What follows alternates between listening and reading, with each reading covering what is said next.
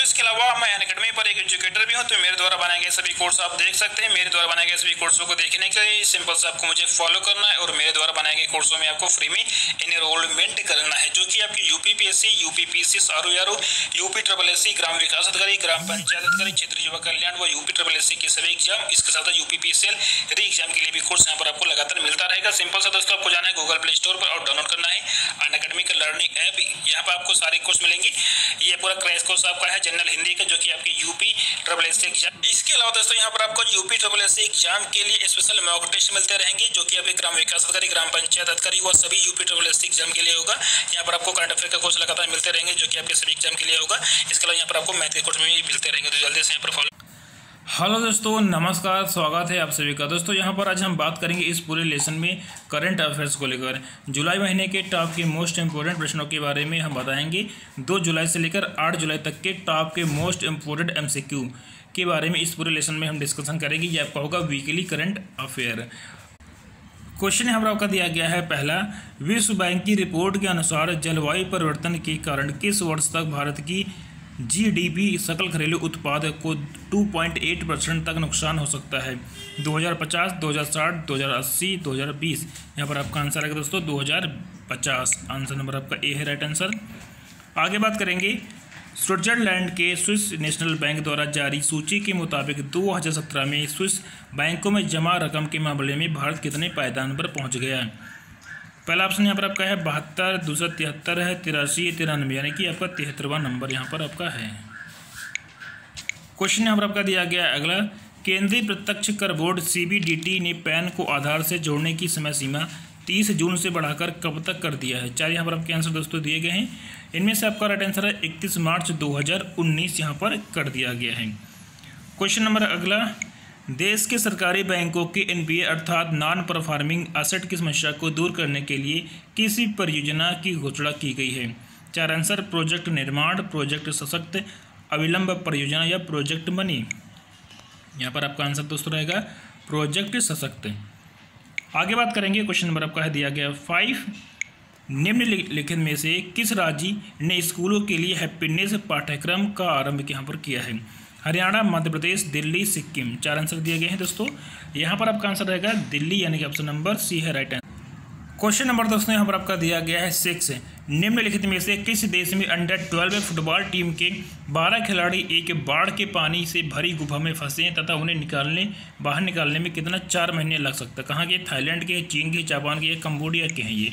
दोस्तों, ये आपके थाईलैंड के, यानी कि ऑप्शन नंबर आपका ए है राइट आंसर आगे बात करेंगे किस राज्य सरकार ने एक अगस्त 2018 से पहले से नवी कक्षा तक के स्कूली पाठ्यक्रम में सड़क सुरक्षा को शामिल करने का फैसला लिया है।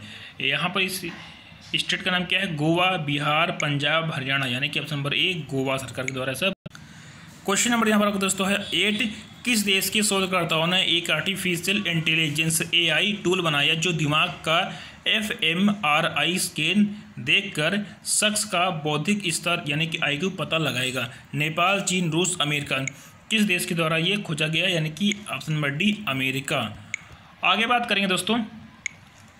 किस राज्य सरकार ने अलग अलग समय पर वायु प्रदूषण के कारणों का पता लगाने के लिए वाशिंगटन यूनिवर्सिटी के साथ मिलकर साइंटिफिक स्टडी करवाने का फैसला किया है? दिल्ली, पंजाब, बिहार, उत्तर प्रदेश।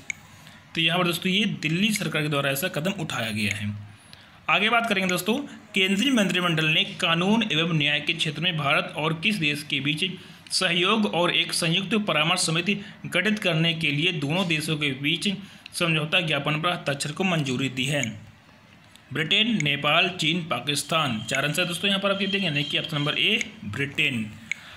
Question number यहाँ पर दोस्तों आपका है इलेवन किस हाई कोर्ट ने हवा, पानी व ज़मीन पर रहने वाले जीव जंतुओं की सुरक्षा हेतु उन्हें इंसानों की तरह कानूनी दर्जा देते हुए राज्य के नागरिकों को उनका स्थानीय अभिभावक घोषित किया? Delhi high court Uttarakhand high court Allahabad high court या मध्य प्रदेश हाईकोर्ट तो यहाँ पर आपका आंसर है बी या दोस्तों, यानी कि उत्तराखंड हाईकोर्ट के द्वारा ऐसा बोला गया है। आगे बात करेंगे, उत्तर प्रदेश की अनुसूचित जाति जनजाति आयोग ने दलितों को आरक्षण न देने के मामले में किस यूनिवर्सिटी को नोटिस भेजा है? Aligarh Muslim university, Lucknow university, Banaras Hindu university या आगरा यूनिवर्सिटी। आंसर यहाँ पर आपका दोस्तों रहेगा ए यानी कि अलीगढ़ क्वेश्चन नंबर दोस्तों यहाँ पर आपका है अगला। राष्ट्रीय डोपिंग रोधी एजेंसी नाडा के अनुशासनात्मक पैनल ने शॉर्टपुट एथलीट इंदरजीत सिंह पर कितने साल का बैन लगाया है? चार साल, सात साल, आठ साल या दस साल? तो यहाँ पर दोस्तों आपका आंसर रहेगा ए यानी कि चार साल। क्वेश्चन नंबर फोर्टीन आरबीआई ने बैंकों को कितने चिन्हित जिलों में प्राथमिकता के आधार पर मिलने वाले कर्ज के अंतर्गत अल्पसंख्यकों को पर्याप्त कर्ज मुहैया कराने का निर्देश दिया है? 120, 125, 130, 121 यानी कि ऑप्शन नंबर डी आपका है 121 क्वेश्चन नंबर आपका है 15 दोस्तों। किस देश ने दो परमाणु ऊर्जा इकाइयों का निर्माण चीन में करेगा जिनके काम शुरू करने की उम्मीद 2026 और 27 तक है? रूस नेपाल भारत जापान।